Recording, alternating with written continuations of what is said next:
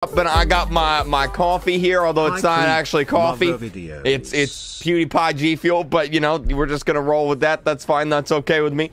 Danielle, thank you for the member. I appreciate it. How you doing? What kind of update? A lore Hey, update. Danielle, thank you. Whisper, thank you. And uh, yeah, I'm pretty excited. Give me the we don't know what's gonna be in it. I don't think